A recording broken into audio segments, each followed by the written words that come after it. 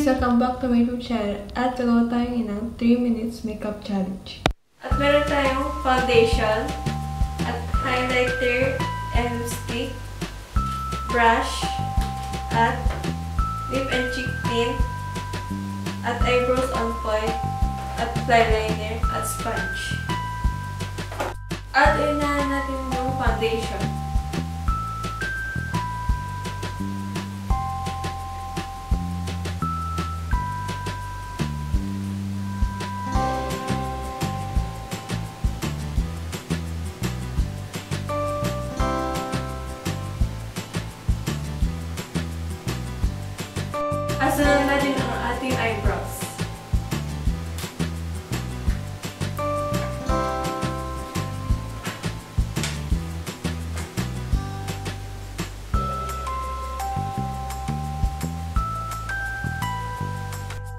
Done with our highlighter.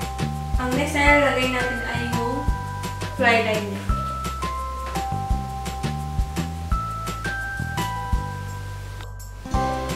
We're done with our fly liner. At ito yung finished look.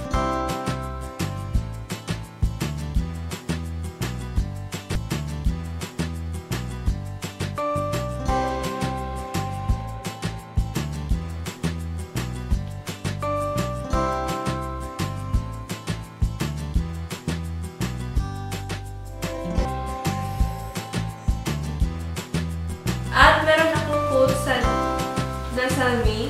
Meron ako, ang code ko ay DASDCAT at may 10% off for all shop minimum consumption 400 pesos. At ilalagay ko sa description box yung mga details ng code ko at kung an- ilan percent. And thanks for watching. If you like this video, thumbs up and don't forget to subscribe to my channel. See you guys in the next video. Mo.